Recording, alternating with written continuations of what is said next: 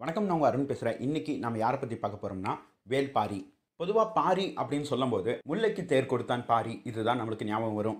ஆனால் இதையும் கடந்து அவர் ஒரு மிகப்பெரிய ஒரு வீரன். இந்தியாவில் மிகப்பெரிய நிலப்பரப்புகளை ஆண்ட மன்னர்கள் கூட அதாவது முகலாய மன்னர்களாக இருக்கட்டும் இல்லை மௌரிய சாம்ராஜ்யமாக இருக்கட்டும் இவர்கள் எல்லாம் தமிழகத்துக்கிட்ட தலை வச்சும் கூட படுக்கலை. அதுக்கு காரணம் சேர சோழ பாண்டியர்களான மூவேந்தர்கள். கலிங்கத்தை வென்ற சாம்ராட் அசோகா கூட கலிங்கத்தில் போர் முடிஞ்சதுக்கப்புறம் புத்த மதத்தை பின்பற்றிட்டு போயிட்டாரு. அதனால தான் அவர் போர்கள் செய்யலை. இல்லைன்னா தமிழகத்தையும் பிடிச்சிருப்பாரு அப்படின்னு நிறைய பேர் சொல்கிறாங்க ஆனால் அவங்க இன்னொரு விஷயம் யோசிச்சு பார்க்குறாங்களா இல்லையான்னு எனக்கு தெரியல. அதாவது அவர் புத்த மதத்தை பின்பற்றுவோம் அப்படின்னு சொல்லி முடிவெடுத்ததுக்கு அப்புறம் அவரோட மகனை ஸ்ரீலங்காக்கு அனுப்பி அங்கே புத்த மதத்தை பரப்புறாரு. ஸோ கலிங்கத்தில் போர் முடிஞ்சோடனே டேரெக்டாக தமிழ்நாடை ஸ்கிப் பண்ணி டேரெக்டாக ஸ்ரீலங்காக்குள்ளே போயிட்டாங்க. சாம்ராட் அசோகா ஏன் தமிழகத்தில் அதிகமான செயல்கள் பண்ணலை அப்படின்னா அதுக்கு காரணம் மூவேந்தர்கள் தான். கொய்யால தொட்ட தூக்கியிருப்போம்ல அப்படி எவ்வளோ பெரிய ராஜ்யத்தை ஆண்டுட்டு இருந்தாலும் அவர்களையும் நடுங்க வைத்தவர்கள் தான் மூவேந்தர்கள் ஆனால் அந்த மூவேந்தர்களையும் ஒரே போர் முனையில் சந்தித்து அந்த மூன்று பேரையும் வெற்றி கொண்டவர் தான் வேல்பாரி. இவரோட வரலாறு கொஞ்சம் பெருசு. அதனால் இவரோட வரலாறு சொல்கிறதுக்கு நான் ஒரு புதிய முயற்சி ஒன்று பண்ணியிருக்கேன். உங்களை ரொம்ப குழப்பாமல் கதையை ஒழுங்காக சொல்லிடுவேன் நம்புகிறேன் ஸோ ஹியர் வி கோ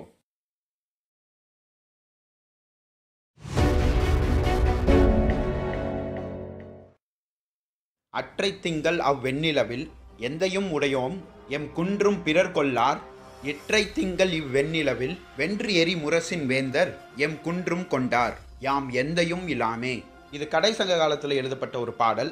புறநானூற்றில் நூற்றி பதிமூணாவது பாடலாக வரும். இந்த பாடலுக்கு என்ன பொருள்னா போன முழு நிலவு அன்னைக்கு எங்களுடைய தேசம் எங்கள் கையில் இருந்தது.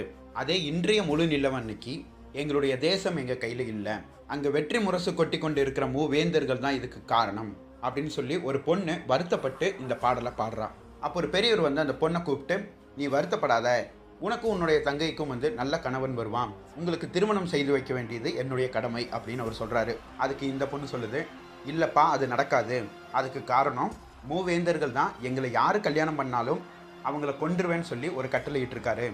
இந்த தருணத்தில் எப்படி இது சாத்தியம்? அப்படின்னு சொல்லி வருத்தப்படுறாங்க. அந்த பெரியவருக்கு அந்த பெண்களுக்கு எப்படி ஆறுதல் சொல்கிறதுன்னு தெரியல. இந்த சமயத்தில் காரி அப்படிங்கிற ஒரு குறுநில மன்னர் வந்து அந்த இரண்டு பெண்களில் ஒரு பெண்ணை வந்து நான் கல்யாணம் பண்ணிக்கிறேன். நான் அந்த பெண்ணோட சந்தோஷமாக வாழ்கிறேன் அப்படின்னு சொல்லி ஒரு முடிவு எடுக்கிறாரு. அதே மாதிரி காரிக்கும் அந்த பெண்ணுக்கும் திருமணம் நடக்குது. இந்த செய்தி சோழ மன்னனுக்கு தெரிய வர சோழ மன்னன் காரியை கொண்டுடுறாரு காரி இறந்த மறுதருணமே அவருடைய மனைவியும் இறந்துடுறாங்க. தன்னுடைய அக்காவோட மரணத்தை பார்த்து அதிர்ச்சி அடைந்த இந்த பெண் அப்பா காரியும் கொண்டுட்டாங்க காரி இறந்தது பார்த்து நம்மளுடைய அக்காவும் இறந்துருச்சு. இனி நம்மளால் ஒன்றுமே பண்ண முடியாது. அப்படின்னு சொல்லி அந்த பொண்ணு கதறி கதறி அழுகுது. இதை கேட்ட அந்த பெரியவர் மனம் நொந்து யாருக்கும் சொல்லாமல் எங்கேயோ போயிட்டாரு. இப்போ மீதம் இருக்கிறது அந்த ஒரே ஒரு பொண்ணு தான். அந்த பொண்ணுக்கு எந்த அடைக்கலமும் இல்லை. இந்த சமயம் ஔவையார் வர்றாங்க. ஔவையார் வந்து அந்த பொண்ணு சொல்கிறது எல்லாத்தையும் கேட்டுட்டு கவலைப்படாத நான் உனக்கு ஒரு கல்யாணம் பண்ணி வைக்கிறேன். இந்த தடவை மூவேந்தர்கள்னால உனக்கு எந்த பிரச்சனையும் வராது. அதுக்கு நான் பொறுப்பு அப்படின்னு சொல்லி ஔவையார் அந்த பொண்ணை கூட்டிகிட்டு போய் திருமண ஏற்பாடு செய்கிறாங்க திருமண அழைப்புதல் அந்த ஓலையை எடுத்து மூன்று மன்னர்களுக்கும் ஔவையார் அனுப்புகிறாங்க அதுக்கு காரணம் மூன்று மன்னர்களும் வந்து வாழ்த்திட்டாங்கன்னா வாழ்த்தின பொண்ணை வந்து விதவியாக்க மாட்டாங்க அப்படின்னு சொல்லி அவங்களுக்கு ஒரு அழைப்புதல் விடுறாங்க. அதே மாதிரி மூன்று மன்னர்களும் ஔவையாருங்கிற ஒரு புலவர் வந்து நம்மளை கூப்பிட்டுருக்குறாங்க. ஸோ அவங்களுக்கு ஒரு மரியாதை செலுத்தும் வகையில் இந்த கல்யாணத்துக்கு போகணும் அப்படின்னு சொல்லி மூன்று மன்னர்களும் போகிறாங்க அங்கே போனதுக்கப்புறம் தான் தெரிஞ்சது மணப்பெண் வந்து அவங்களோட எதிரியோட பொண்ணு அப்படின்னு. அப்போது ஔவையாரை பார்த்து சொல்கிறாங்க மூன்று தேசங்கள்லேயும் இந்த பெண்களை யார் திருமணம் செய்தாலும் அவங்கள நாங்கள் கொன்றுவோம்னு சொல்லி சட்டம் போட்டிருக்கோம். இப்போ நீங்களே வந்து இந்த பெண்களுக்கு திருமணம் செய்து வைக்கிறது சரியா அப்படின்னு அவங்க கேட்குறாங்க அதுக்கு அந்த மணப்பெண் வந்து ரொம்ப கோவப்பட்டு பாண்டிய மன்னனை பார்த்து கேட்குறான் மூன்று தேசங்களும் ஆணையருக்கு நீங்களாம் யார்? எங்களுடைய தேசம் எவ்வளோ பெரிய தேசம்? அப்படி அவங்களோட தேசத்தை பற்றியும் அவங்களோட மன்னரை பற்றியும் அந்த பொண்ணு சொல்கிறான் வேல்பாரி பரம்பு தேசம் பரம்பு தேசத்தின் மக்கள். பச்சை மலை அப்படின்னு ஒரு பெரிய மலை இருக்கு. அந்த மலைக்குள்ள வந்து நடுமலை காரமலை ஆதிமலை அப் அப்படின்னு சொல்லக்கூடிய மூன்று அடுக்கு மலைகள் இருக்கு. இதை கடந்து போனால் பரம்பு மலை அப்படின்னு சொல்லி இன்னொரு மலை இருக்கு. அந்த பரம்பு மலையில் எவ்வியூர் அப்படின்னு சொல்லி ஒரு ஊர் இருக்கு. அந்த ஊரில் தான் வேல்பாரி இருக்கிறாரு. இவர் வந்து ஒரு குறுநில மன்னர். இவருக்கு கீழே ஒரு முந்நூறு தேசங்கள் தான் இருக்கு. அதாவது குறிஞ்சி அப்படிங்கிற ஒரு நிலப்பகுதியை ஆண்டுட்டு வர ஒரு அரசர். இவரோட தேசத்தில் பதினாறு குலத்தை சேர்ந்த மக்கள் வாழ்ந்துட்டு வந்துட்டு இருக்காங்க. இயற்கைக்கு சிறிதளவில் கூட பாதகம் வரக்கூடாது அப்படின்னு சொல்லி இயற்கையை தங்களுடைய குழந்தைகள் மாதிரி பார்த்துக்கிட்டாங்க. அந்த மக்களுக்கு தேவையான பழங்கள் மூலிகை பொருட்கள் அனைத்தும் அந்த மலையிலேயே அவங்களுக்கு கிடைச்சிது. இதையும் தாண்டி நெல் பயிர்கள் வேணும்னா மட்டும் அந்த மலையை விட்டு கீழே இறங்கி வந்து மற்ற தேசங்களோட பண்டமாற்று முறையில் நெல்மணிகளை பெற்றுட்டு போவாங்க. ஒரு நாள் பாரி நகர்வலம் போயிட்டு இருக்கும்போது அங்கே ஒரு முல்லை செடியோட கொம்பு பிடிமானத்துக்கு எதுவும் இல்லாமல் தவிச்சிட்டு இருந்ததை பார்த்தாரு. அதை பார்த்தோன்னே மனம் நொந்த பாரி அவரோட தேரை கொண்டு வந்து அந்த முல்லை செடி பக்கத்தில் விட்டு அந்த முல்லை செடி எடுத்து அவரோட தேர் மேலே விட்டுட்டு போயிட்டாரு. இந்த விஷயம் தேர்ப்பாகன் மூலியமா ஊருக்குள்ளே தெரிய வர முல்லைக்கு தேர் கொடுத்தான் பாரி அப்படின்னு சொல்லி மக்கள் எல்லாரும் அவரை புகழ்ந்து பாடினாங்க. அது மட்டும் இல்லாமல் ஒரு நாள் அவரோட தேசத்தில் உள்ள சில குதிரைகளுக்கு காலில் அடிபட்டிருந்தது. இது என்ன குதிரைகளுக்கு அடிபட்டிருக்கு அப்படின்னு சொல்லி கேட்கும்போது நம்ம குறிஞ்சி பகுதியில் இருக்கோம்.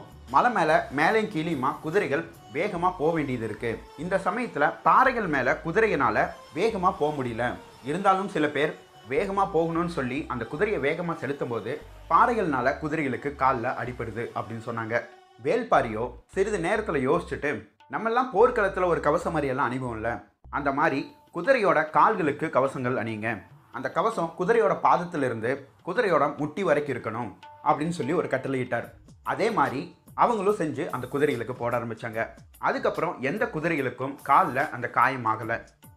அது மட்டும் இல்லாமல் புலவர்கள் யார் வந்தாலும் அவங்களுக்கு வேணுங்கிற செல்வத்தையும் தந்தார். இப்படி வாரி வழங்கும் வள்ளலாக இருந்தாலும் மிக சிறந்த வீரனாகவும் இருந்தார். அவரோட தேசத்தில் சிறுவர்களுக்கு கூட சிலம்பாட்டம் கற்றுக் கொடுத்துட்ருப்பாரு இப்படி வள்ளல் குணமும் வீரகுணமும் கொண்டவர் தான் வேல்பாரி. அப்படிப்பட்ட மன்னரை வீழ்த்தினது சரியா அப்படின்னு சொல்லி அந்த பொண்ணு பாண்டிய மன்னரை பார்த்து கேட்குறான் இப்போ பாண்டிய மன்னர் கோவம் வந்துருச்சு. உடனே அந்த பெண்ணை பார்த்து சொல்கிறாரு இவ்வளோ பேசுறியே ஏன் பாரி நடத்துகிற கொற்றவை கூத்தும் தெய்வ வாக்கு சொல்கிற விலங்கு பற்றி நீ சொல்ல மாட்டீர? அதை சொன்னால் தானே பாரியோட உண்மை முகம் வெளியே தெரிய வரும். இப்படிப்பட்ட கதைகள் சொல்லி மூவேந்தர்கள் மேலே பழிய சொல்லக்கூடாது அப்படின்னு சொல்லி பாண்டிய மன்னர் சொல்கிறாரு வேல்பாரி கொற்றுவை கூத்து தெய்வ வாக்கு விலங்கு.